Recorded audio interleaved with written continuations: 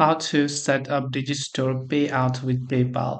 If you want to set up your Digistore's payout using PayPal as a payment method, it's very simple. So first of all, you could simply open your browser and go to your Digistore 24 dashboard and log in. Once you log in from the top right, you can see this option called account. From there, from account, you want to go to this option that says payout account. So once you go to payout account here, you can see payout account.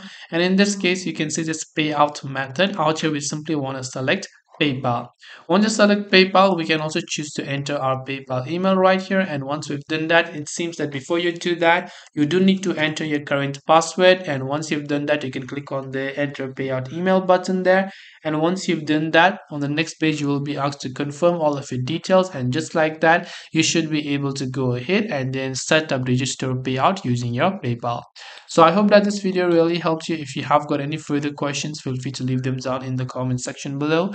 As always, thank you very much for watching till the end of this tutorial and see you soon in the next video.